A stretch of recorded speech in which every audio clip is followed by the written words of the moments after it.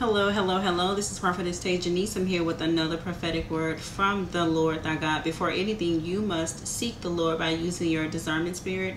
You must also discern the voice of God by testing. You may discern what the will of God is for you to be sure this prophecy is indeed for you. Holy Spirit will welcome you in right now with thanksgiving in our hearts.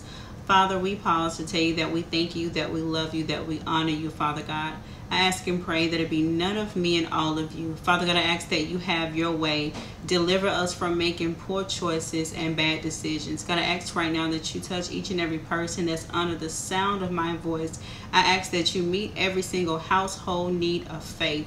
God, we thank you in advance. Father God, we need you. We glorify your holy name, Father Jesus, and we silence the voice of every single Goliath that's speaking negative against your word, your will, and your way. In Jesus' name we do pray. Amen.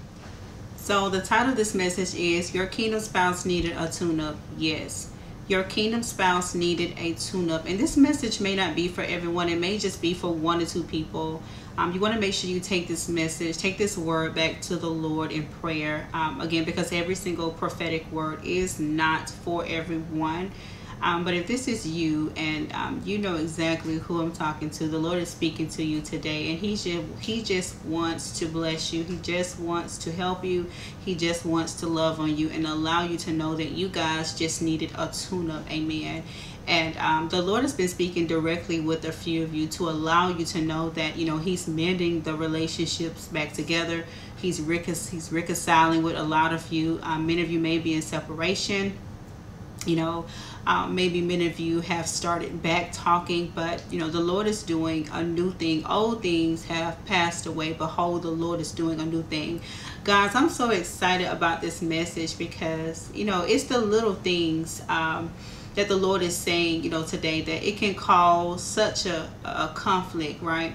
You got to make sure that those fruits of the Spirit are intact. And I want to give you the scripture that He's given to me. We're actually going to be talking a little bit about the fruits of the Spirit that he just placed, you know, on my heart, you know, to give to you along with this tune-up that's needed. So the scripture is going to be coming from Galatians chapter 5, beginning at the 22nd verse, and it says, But the fruit of the Spirit is love, joy, peace, long-suffering, gentleness, goodness, faith, meekness, temperance. Against such there is no law.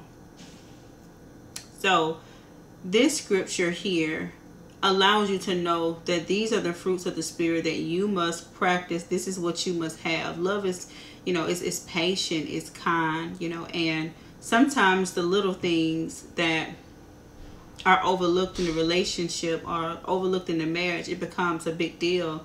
You know relationships you know it's just like cars. Um you know you're going to experience some wear and some tear and you got to make sure that you're patient you're kind you know you got to make sure that no matter what's going on with it that you're patient with it that you're taking the time to understand what the problem is what's going on what's happening. And this is what the lord is speaking to these kingdom spouses. He's allowing them to know that you know hey um, things can be just like a car sometimes. Wear and tear happens. And you know if we ignore the little things that go wrong we'll end up having a major breakdown. So in order for you know this relationship to go and this marriage to go or to be rekindled or be reunited right? There has to be some type of intentional um, response to do better. Because when you know better you do better. When you know to treat each other better you, you're going to operate in that very thing that is needed to be done because you see the problem you see the issue and now a solution has to be taken care of. So um, for many of you, you know, you love your kingdom spouse so much and um, you just didn't know what the issue is. Again, it's just like a vehicle, right? You you might hear a little noise here and there, but you don't know if it needs an oil change. You don't know if it needs a tune-up, spark plug. Something needs to be changed. And that relationship, a lot of you guys don't know where things went wrong. You know, it seems like one day you're up you know the next day that you're down and that's what that car does sometimes sometimes that car it's shaking, it's rattling. You don't know what's going on with it. It's loud. Maybe need a muffler. You know, anything could be happening. So if you don't take that, you know, car in, if you don't take your relationship and surrender it over to God, it can be a major breakdown. And a lot of you have got to the point to where it is a major breakdown, and the Lord is trying to tune you up Hallelujah. I feel this word so heavy for somebody. And in order for you to have that tune up, you know, there's going to be some long suffering, right? Some patience, some kindness, some meekness. You want to make sure that you're in place to where the Lord can take full charge and allow the Lord to know, you know, hey, I signed the permission slip of you taking control of this marriage, of this reconciliation. God, I can't do it by myself. I need you. I need you to have your way. I need you to tune this thing up. Amen. Go ahead and drop down in the comments if this is this if this word if this message is for you. Just say, Lord, I need to tune up. Um, Lord, I thank you for the tune up in advance. Thank you for going ahead and make sure that you're ready and available to give us this tune up because the Lord is about to cultivate this relationship. So for many of you that are coming back together you know again this message may not be for everyone but when you guys come back together or reunite and this could be someone that you're meeting new you know the lord has done a tune up on the inside of your heart. He's created in you a clean heart and he has renewed your mind. Hallelujah. This message is for somebody. And that's what the lord is doing currently. So this relationship this marriage when it comes together you know there's work to be done and you know what the lord brings together no man can tear apart. What he joins together no man can tear apart. Um, that genesis 2 is coming up. You are still bone of his bone. You are flesh of his flesh. And god is moving um, this has happened suddenly inside of you guys' life and this is a major breakthrough for somebody because there was someone who was just crying out to the lord praying to the lord for some guidance and the lord is just like i'm right here. Bring it all to me. Jeremiah 33 and 3 use the lord's phone number. Call him up and tell him you know that you need him you know. Stop shut your mouth. Don't go in talking about god i want you to do this that and the third God, I need you. Go ahead and acknowledge him. Lean not towards your own understanding, but in all of your ways, acknowledge who God is first. Let him know that you need him, that you love him, that you can't make it without him.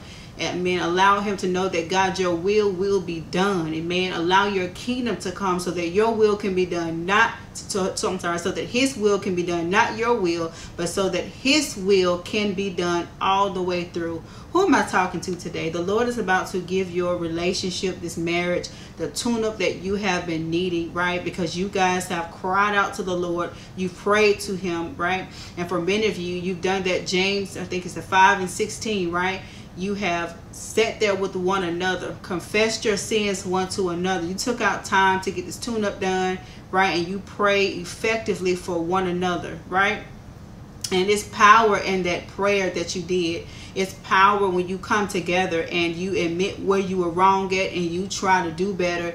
You don't listen just to respond you listen to understand what's going on so that the issue can be fixed and god is in the midst of it when you pray when you pray something happens when you pray. And you you pray to believe you pray to have trust you pray to have faith. It's something about believing that you know things are going to work things are going to come together. You know it's so much power so much faith inside of that belief right? Uh, mark 9 and 23 allows us to know that anything is possible to those who believe. Where is your faith? Check your faith you know, if the Lord brought you to it, He's going to see you through it. What's for you is for you. It doesn't matter how long it's been.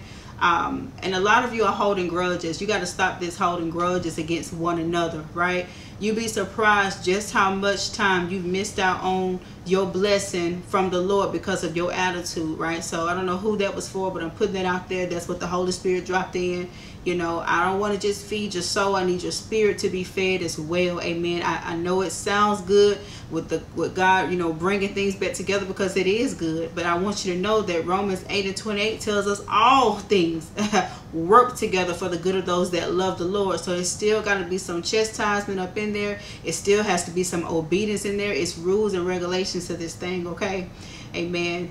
Um, so don't forget to silence the voice of every Goliath that's speaking negative. Devil, Come on now, if you're going to be rapping, we'll be singing, we'll be doing a duet, but you're not going to back us in the corner to make us feel and believe that we're not going to get this tune up. Amen. You're going to get this. Somebody say, I'm going to get this tune up.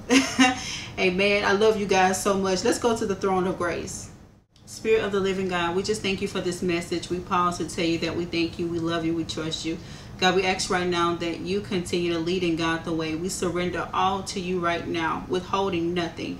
Father God, we ask right now that you have your way right now. Allow your kingdom to come so that your will can be done on earth as it is in heaven. And Father, we thank you that you're doing this tune up right now. In Jesus' name we do pray. Amen.